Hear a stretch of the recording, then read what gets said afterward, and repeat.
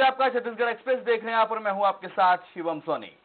Bulletin की शुरुआत करेंगे रायपुर से, जहाँ पर सदन में रेत की अवैध खनन का मामला विपक्ष ने ज़ोर शोर से उठाया।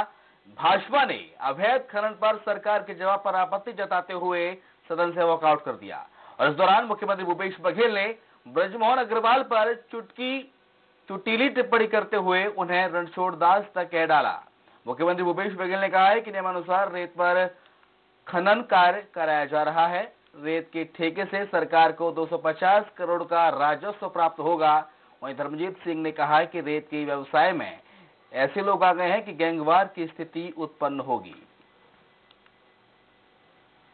विभाग और ठेकेदार मिलकर के सरकार के रेत का मनमाने मर्ज़ी में बिक्री कर रहे हैं, जिसके कारण आम जनता त्रस्त है। आग्रह किया है और एक टोल फ्री नंबर इन माफियाओं या रेत के अवैध परिवहन करने वालों के खिलाफ टोल फ्री नंबर हर ज़िले में लागू करने की मैंने मांग की है, जिसे उन्होंने स्वीकार किया है।